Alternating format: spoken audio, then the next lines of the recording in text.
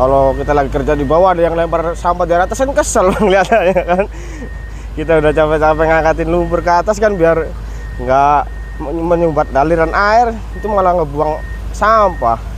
Kehadiran dukungan dalam rangka kegiatan karya bakti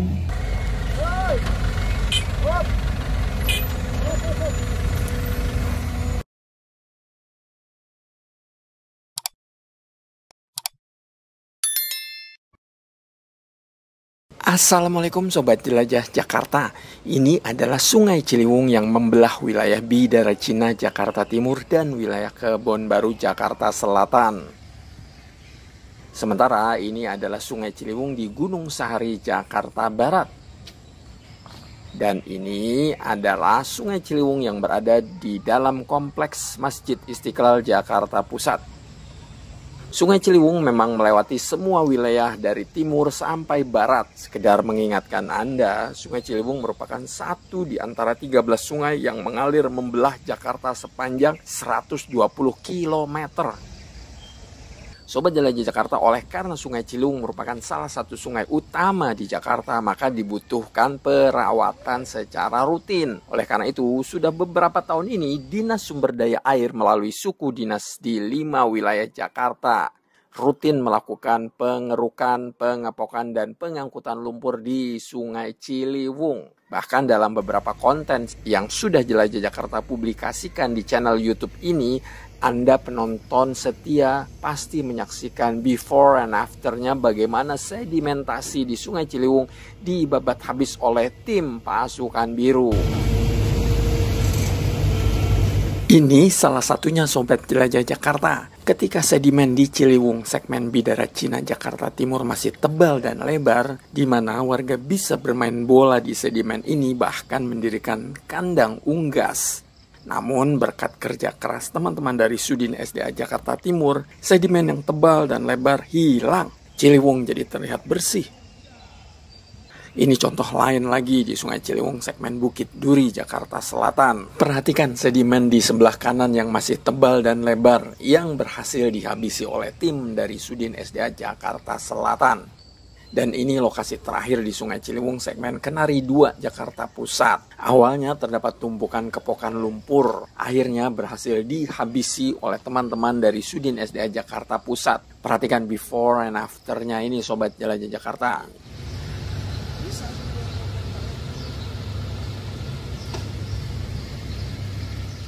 Sobat Jelajah Jakarta sebagaimana saya infokan di awal bahwa Dinas Sumber Daya Air Provinsi DKI Jakarta secara rutin mengadakan pengerukan di berbagai titik sungai Jakarta termasuk di Ciliwung. Aktivitas tersebut dilakukan untuk membersihkan endapan lumpur dan berbagai sampah di sungai. Selain itu, pengerukan ini dilakukan agar kapasitas sungai menjadi lebih besar.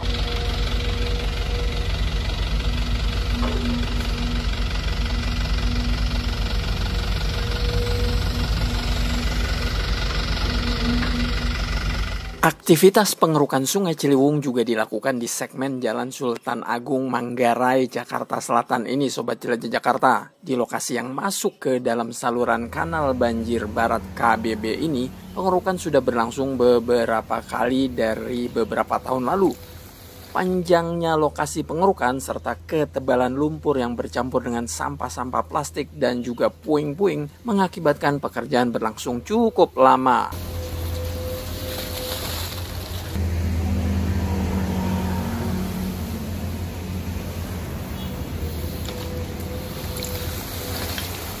Aktivitas di lokasi Kali Ciliwung Jalan Sultan Agung, pengerukan dan penguatan tanggul di sekeliling Kali Ciliwung.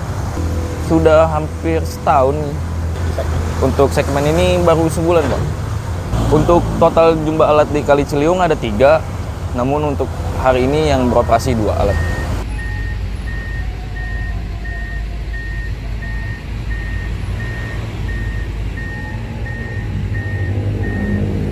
Untuk alat ekskavator AB53 operator Pramuja Aditya dan alat ekskavator AB14 operator Sopar Manulu.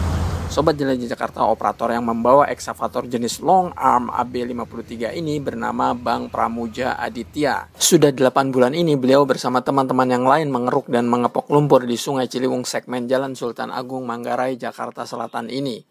Banyak suka maupun duka saat menjalankan aktivitas gerbek lumpur selama 8 bulan ini. Kalau di kali ini ya sekitar kurang lebih 8 bulan bang. Soalnya kan dari sono, dari belakang BNI itu. Suka dukanya kalau hujan bang. Di sini suka airnya tinggi.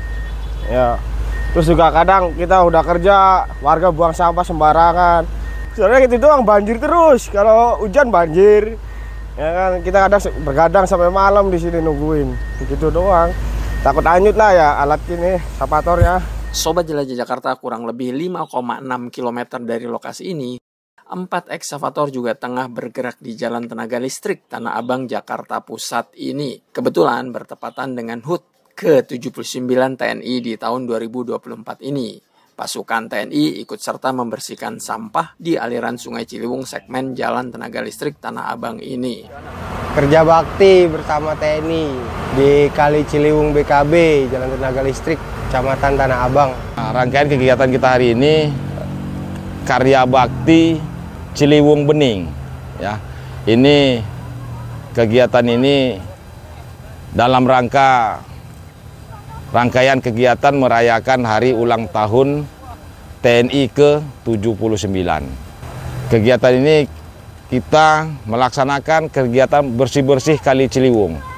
Kali Ciliwung sektor kita mulai dari sebelah sana di bawah jembatan sampai ke batas uh, wilayah Tanah Abang.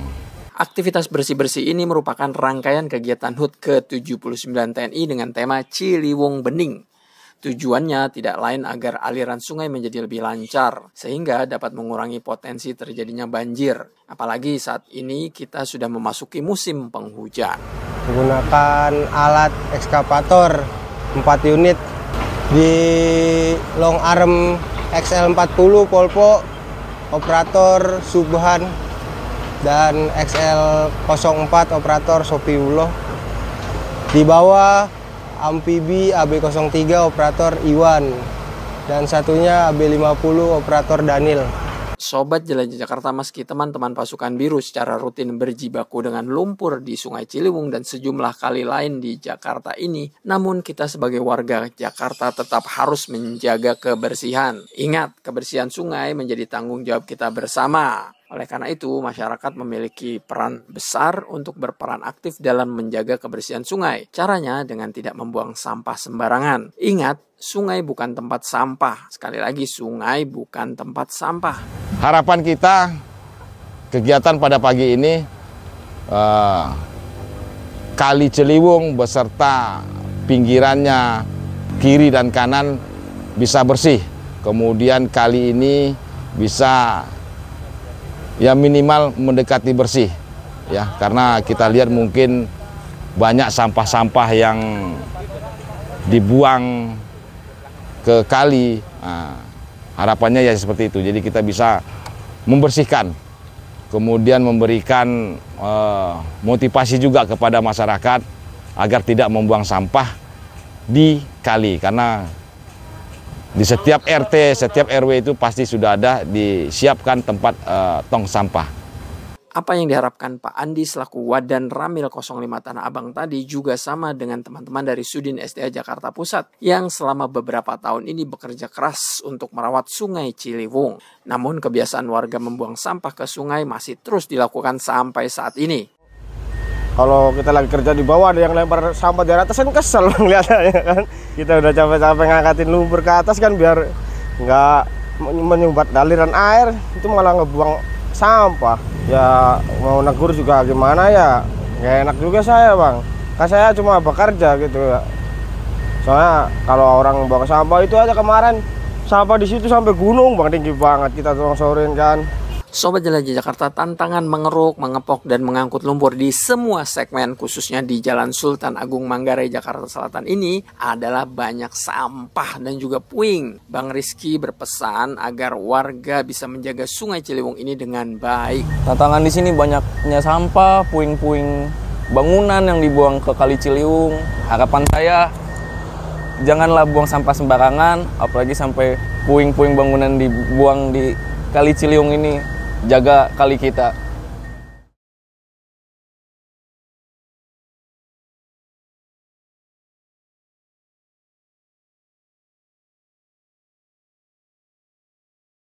Sobat Jelajah Jakarta, demikian penjelajahan saya ke Sungai Ciliwung saluran kanal banjir barat ini di segmen Jalan Tenaga Listrik Jakarta Barat ini dan segmen Jalan Sultan Agung Manggarai Jakarta Selatan. Semoga informatif, kita doakan teman-teman pasukan biru tetap semangat menjaga Sungai Ciliwung dan kali-kali lain agar kapasitas daya tampungnya normal kembali. Tentu kita juga mengucapkan terima kasih pada TNI yang telah berpartisipasi menjadi contoh nyata bagi warga kota Jakarta ini. Sampai jumpa di episode Jelajah Jakarta berikutnya. Salam persatuan. Wassalamualaikum warahmatullahi wabarakatuh.